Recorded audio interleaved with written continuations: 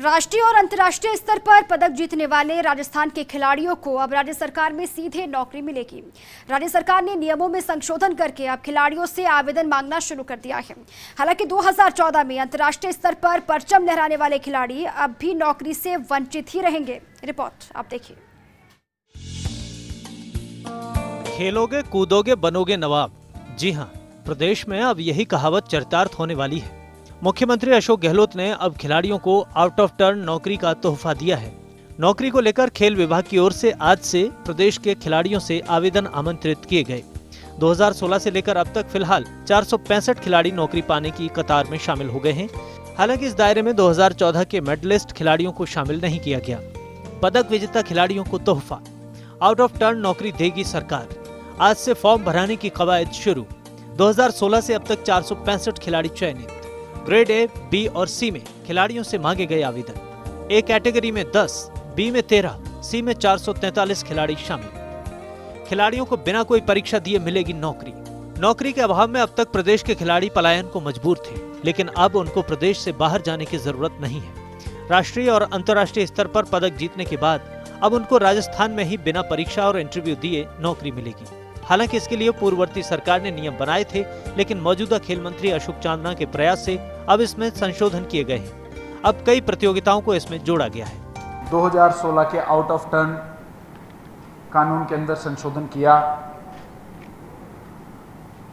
और मैं, मुझे बड़ा गर्व है कि माननीय मुख्यमंत्री जी की ये मंशा थी, और इस मंशा के अनुरूप हमारे प्रिंसिपल सेक्रेटरी आदर आदरणीय भास्कर सावंत जी ने, डिपार्टमेंट के सेक्रेटरी महेंद्र मीणा जी ने, और आप लोगों की पूरी टीम, इससे पहले सेक्रेटरी अरुण हासीजा जी थे, उन्होंने भी इसके ऊपर बहुत मेहनत करी। सबने मिलकर आठ दस महीने की, बारह महीने की मेहनत कामयाब हुई। एक कैटेगरी में ओलंपिक पैरा ओलंपिक पदक विजेता, world cup, world championship, Asian Commonwealth cricket world cup championship के विजेता या उप विजेता को रखा गया है। बी कैटेगरी में एशियन चैंपियनशिप के पदक विजेता, साउथ एशियन गेम्स के पदक विजेता को रखा गया है, जबकि सी कैटेगरी में नेशनल गेम्स और नेशनल पैरा गेम्स के पदक विजेता, रणजी ट्रॉफी के विजेता शामिल किए गए हैं। यानी अब राजस्थान की जर्सी पहनकर पदक जीतने वाला खिलाड़ी नौकरी का हकदार होगा। एक ऐसी पॉलिसी हम लोग लेकर आए हैं, जिसमें मेडल विजेता जो खिलाड़ी हैं चाहे वो नेशनल मेडल विनर हैं, चाहे वो इंटरनेशनल मेडल विनर हैं, चाहे वो वर्ल्ड कप के पदक विजेता हैं, चाहे वो कॉमनवेल्थ के पदक विजेता हैं, चाहे वो ओलंपिक्स के पदक विजेता हैं नेशनल मेडल तक के बच्चों को सरकारी नौकरी सुरक्षित हो जाएगी वैकेंसी नहीं भी होगी, तब भी उन खिलाड़ियों की नौकरी लगेगी, ऐसा कानून लाने में हम लोग कामयाब हुए हैं। इम्प्लीमेंटेशन का तरीका होता है। फॉर एग्ज़ाम्पल इसकी डेट पीछे ले जाने की बात करें किसी भी कानून में रेट्रोस्पेक्टिव प्रावधान करना और उसको लॉ से पास करना बड़ा मुश्किल होता है। तो उस आ, उस ट्रैक में अगर हम जाए तो रूल्स चेंज करने की प्रक्रिया बहुत लंबी है।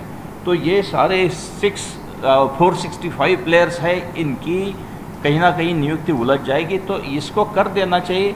और इसके अलावा जो पुराने हैं गिनती के प्लेयर्स हो गए उसके बारे में आ, सोचा जा सकता है। लेकिन अब इमीडिएट इसमें रेट्रोस्पेक्टिव करने की बात छेड़ना उचित नहीं है। खिलाड़ियों के लिए नियम बने काफ़ी समय हो गया है लेकिन विडंबना की बात यह है कि आज तक एक भी खिलाड़ी को नौकरी नहीं मिल सकी। दरअसल खेल विभाग की लाल फीताशाही के चलते ऐसा हुआ। अब खेल मंत्री ने पहल करते हुए खिलाड़ियों से फॉर्म भरवाने शुरू कर दिए हैं। अब उम्मीद की जा रही है कि खिलाड़ियों को नौकरी मिल जाएगी, लेकिन अन्याय उन खिलाड़ियों के साथ भी हुआ है जिन्होंने 2014 के कॉमनवेल्थ और एशियन गेम्स में पदक जीते थे। दरअसल, नए नियमों में 2016 और उसके बाद पदक जीतने वाले खिलाड़ियों को ही शामिल किया गया है। खेल मंत्री ने कहा कि हमने इस बारे में प्रस्ताव भेजा था, लेकिन लॉ डिपार्टमेंट ने उसे खारिज कर दिया। मुझे लगता है कि इसके अंदर संशोधन करके जो हमने ढील दी है उससे जब कुछ बच्चों को नौकरियाँ लगेगी, उससे राजस्थान में खेलों का वातावरण बनेगा। मैं आपको बताऊँ, उसका एक जीता जाता एग्ज़ाम्पल ये है कि जब हमने दो प्रतिशत सरकारी नौकरियों के अंदर खिलाड़ियों का अमेंडमेंट किया, उससे पहले चौगान में सवा सौ बच्चे कबड्डी की प्रैक्टिस किया करते थे। आज 600-700 से ऊपर हैं और राजस्थान में कबड्डी के ऊपर अभी अभी हमारी कबड्डी टीम ने ब्रॉन्ज मेडल जीता है नेशनल में। खिलाड़ियों को नौकरी देने का तो अब दावा किया जा रहा है, लेकिन अब भी उन खिलाड़ियों की कोई सुध नहीं ली जा रही जो तीन साल से पदक जीतने के बाद इनामी राशि पाने का इंतज़ार कर रहे हैं। सैकड़ों खिलाड़ी तो ऐसे भी हैं जिनको टूर्नामेंट में खेलने का टीएडीए नहीं मिला। हालाँकि खेल मंत्री अशोक चांदना ने आश्वासन दिया कि खिलाड़ियों की समस्या को जल्द दूर कर दिया जाएगा। फ़र्स्ट इंडिया न्यूज़ के लिए जयपुर से नरेश शर्मा की रिपोर्ट।